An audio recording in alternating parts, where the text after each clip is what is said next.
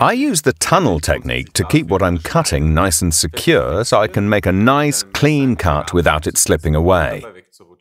You can use any knife you like for this. I recommend using a longish, narrow knife, for instance a carving knife. Today I'm cutting a potato, which I fix in place by creating a tunnel with my index finger, middle finger and thumb. I feed the carving knife in through the tunnel and make a nice clean cut without the potato slipping away from me.